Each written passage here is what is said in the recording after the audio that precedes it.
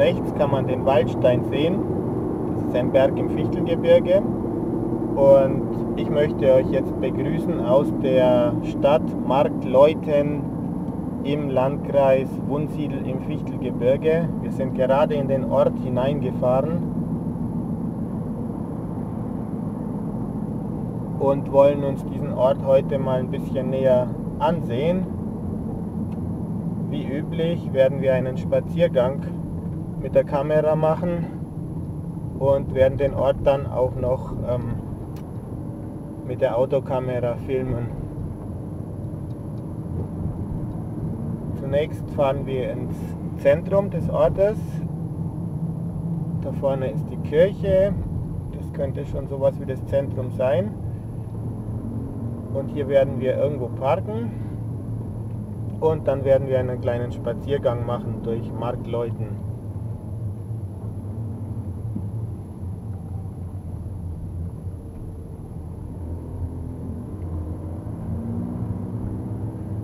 Alle Parkplätze belegt erstmal. Aber irgendwas findet man hier sicher.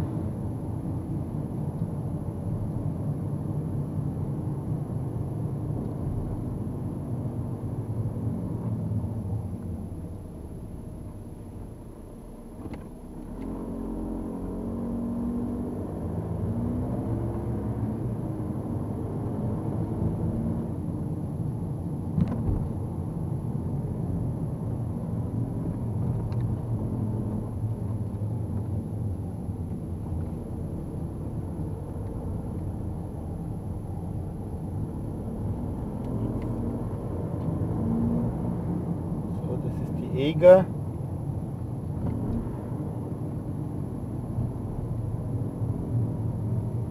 Wir fahren zurück ins Zentrum des Ortes.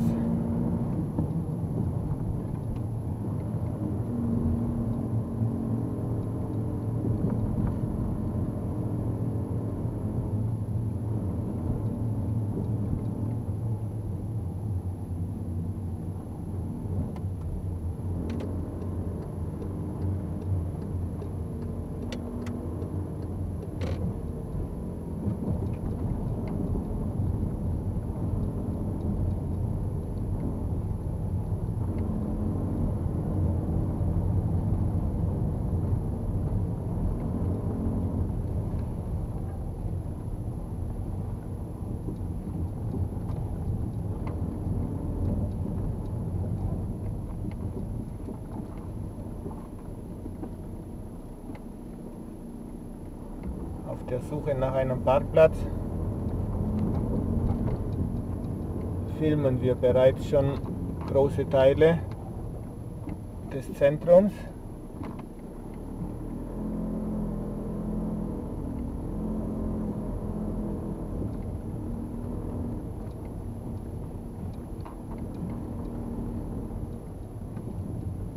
So, hier habe ich nichts gesehen, wo man parken kann.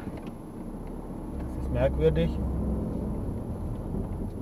Normalerweise bereitet es überhaupt keine Schwierigkeiten, in solchen kleinen Orten einen Parkplatz zu finden. Nicht so hier.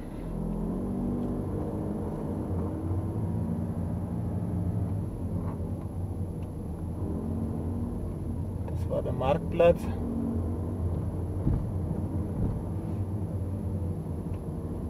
So, Sonntag ab 4 Uhr, das juckt mich nicht. Ich bleib mal hier stehen. So.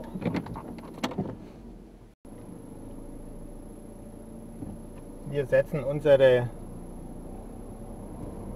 Ortsdurchfahrt durch die Kleinstadt Marktleuten im Fichtelgebirge fort und sind zuerst zunächst in die Fleisch, Fleischgasse abgebogen. Der Ort ist 700 Jahre alt und es gibt etliche alte Gebäude hier zu bewundern. Schöne enge Gässchen. Das sind auch viele verfallene Gebäude dabei, was dem Ort aber andererseits einen großen Charme verleiht, etwas Mystisches.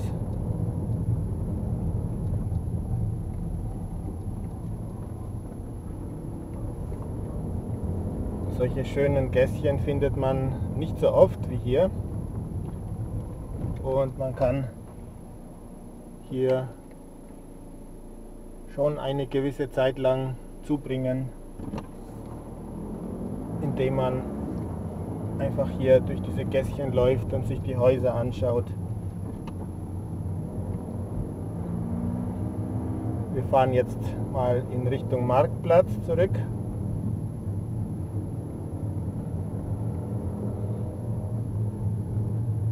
Das hier ist der Marktplatz, rechts die Kirche. Da ist auch das Rathaus in der Nähe. Dann biegen wir mal hier in die Einbahnstraße ab. Es gibt ein paar schöne Gaststätten. Eine Pension hier.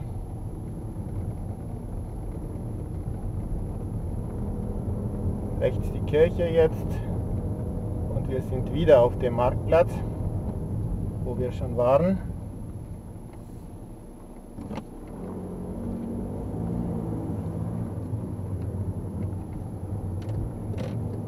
dann fahren wir mal in die Webergasse.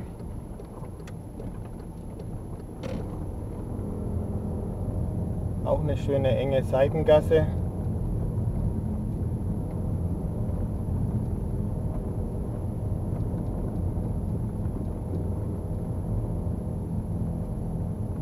Solche Gässchen findet man in größeren Städten nicht mehr. Dort ist alles schon größtenteils renoviert und saniert.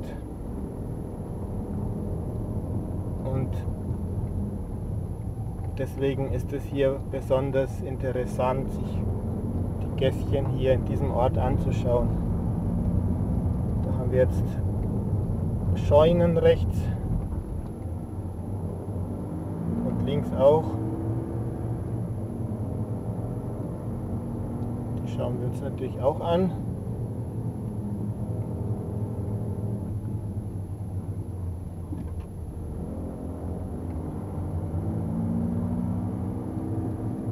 Diese Scheunen sieht man in vielen Orten hier im Fichtelgebirge. So, wir wenden und fahren wieder in Richtung Marktplatz.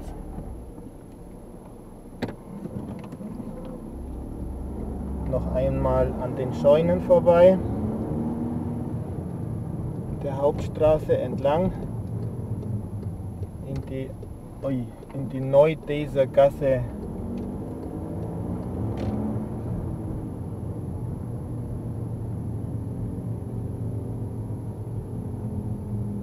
Das sind die Scheunen und jetzt kommt der Kopfsteinpflasterbereich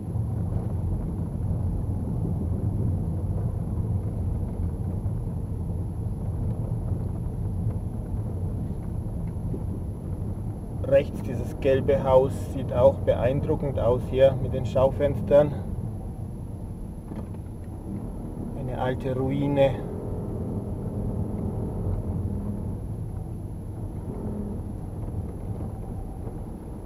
Vor uns die Kirche wieder. Wir sind wieder auf dem Marktplatz angekommen. und biegen diesmal rum in die Kaisergasse ab.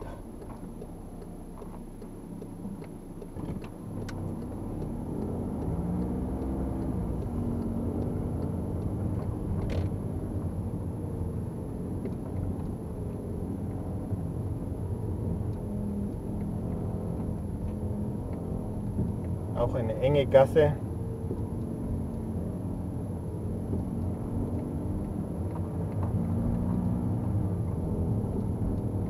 Vor uns der untere Markt. Also die Hauptstraße.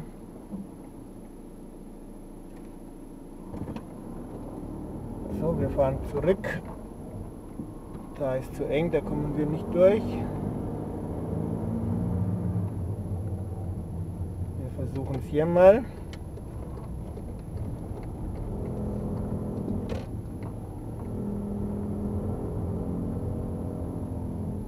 Könnte eine Sackgasse sein, ich bin mir nicht sicher. Das ist die Mühlgasse. Da geht es nirgendwo hin.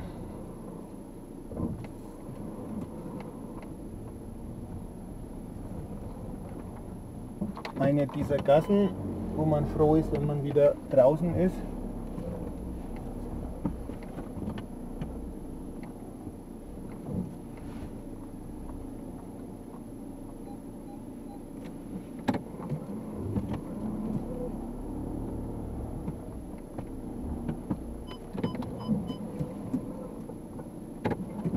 Haben wir jetzt einen sehr schönen Blick auf den Marktplatz von hier. So, der junge Mann läuft vor uns.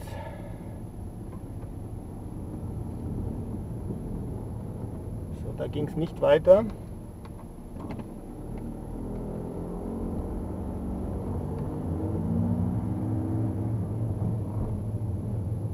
Jetzt fahren wir geradeaus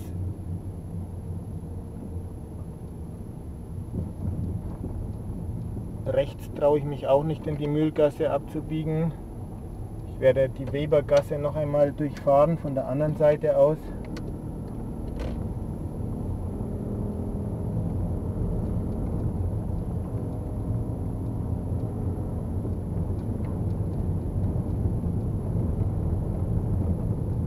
Mit Blick auf dieses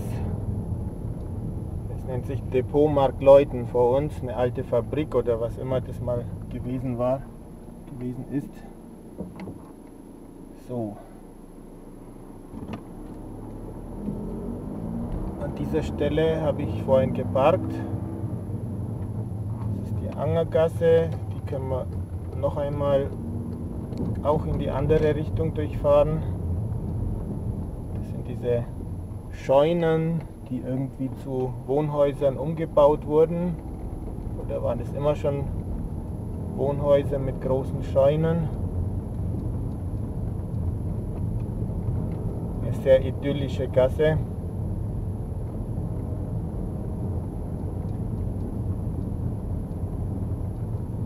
Wie im Bilderbuch.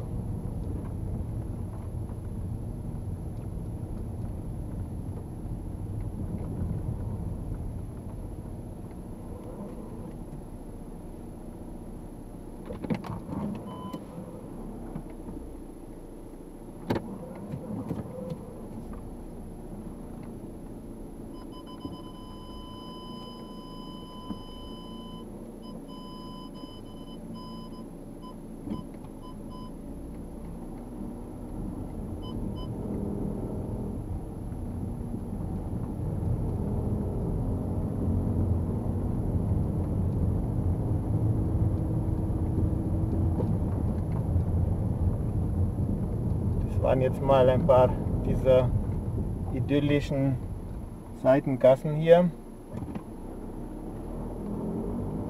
Das war eigentlich schon der Innenstadtbereich bzw. der Ortskern von Marktleuten.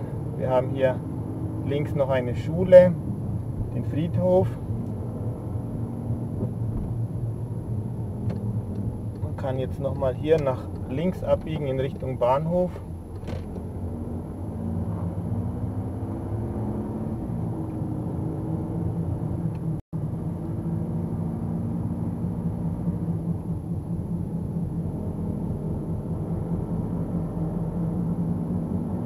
Richtig spannend sieht es hier nicht mehr aus. Alles schon neuere Häuser.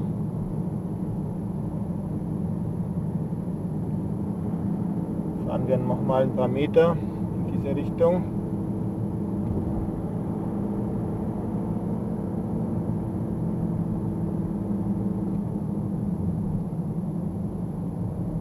Ein paar Gaststätten gibt es auch noch hier.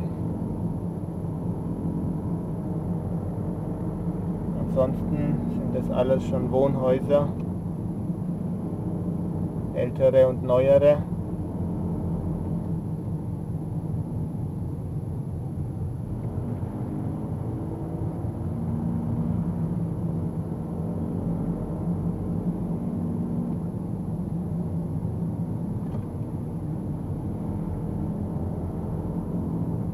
vor uns eine interessante Brücke, aber wir wenden.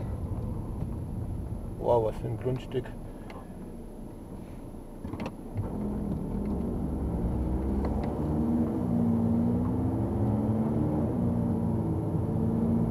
Wenn ich richtig viel Geld hätte und nicht jeden Tag in irgendeiner Stadt auf die Arbeit gehen müsste, dann würde ich mir hier vielleicht Grundstück kaufen und mich hier niederlassen. Es ist schön ruhig, idyllisch, mitten im Fichtelgebirge. Sieht aus, als hätte man hier eine hohe Lebensqualität.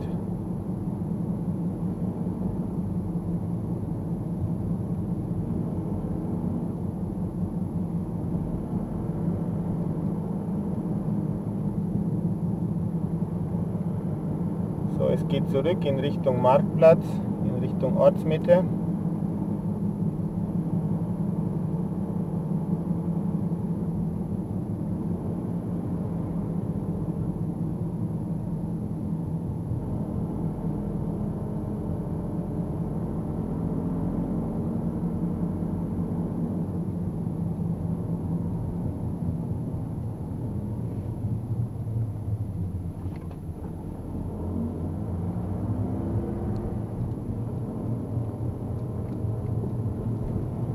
Wir schauen mal, ob wir, ob wir eine Gasse übersehen haben. Da waren wir schon. In den Seitengassen links.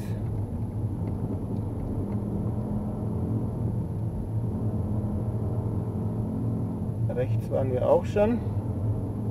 Das hier ist eine Einbahnstraße. Da sind wir auch schon durchgefahren von der anderen Richtung.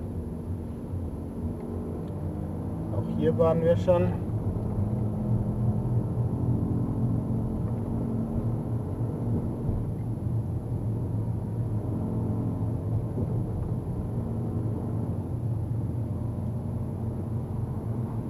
So aus, als hätten wir hier das meiste gefilmt.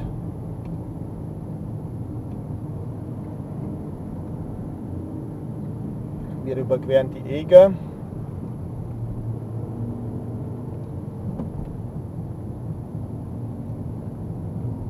Und fahren jetzt mal da in Richtung Selb.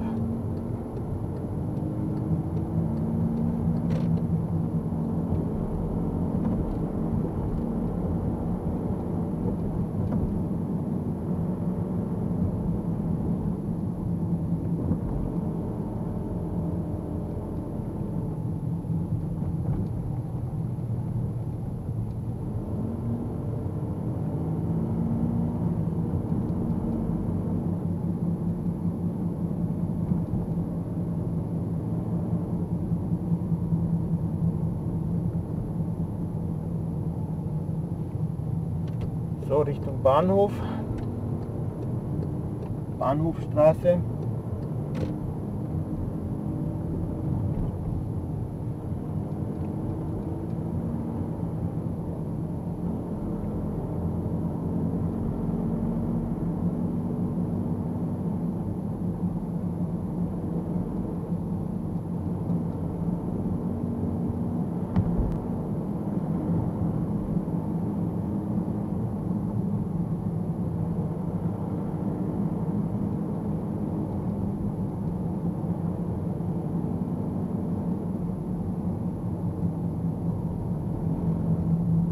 Hier gibt es ein paar kleine Läden links.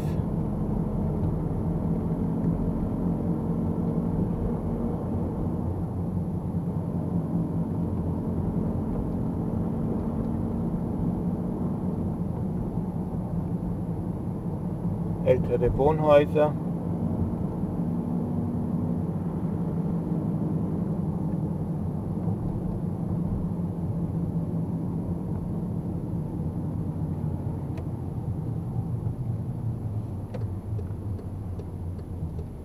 Richtung Bahnhof geht es nach links.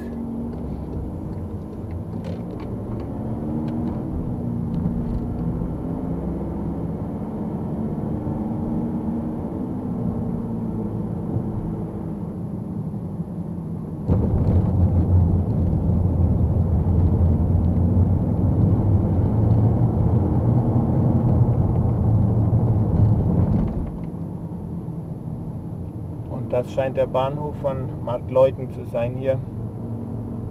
Ob der überhaupt noch existiert. Am Bahnhof gibt es hier noch eine Bahnlinie. Eine Linie, die auch genutzt wird, möglicherweise.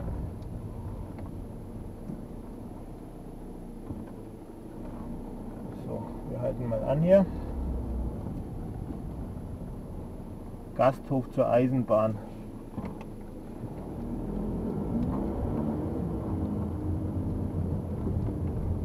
Muss mal richtig was los gewesen sein früher im Gasthof zur Eisenbahn. Da gab es eine Metzgerei, Fremdenzimmer und Garagen. Und jetzt steht er leer. Nichts mehr los. So schnell geht's.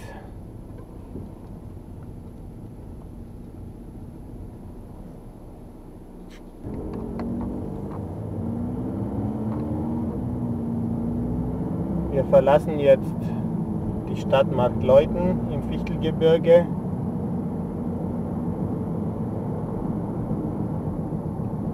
Und ich verabschiede mich erstmal an dieser Stelle. Bis zum nächsten Mal. Tschüss.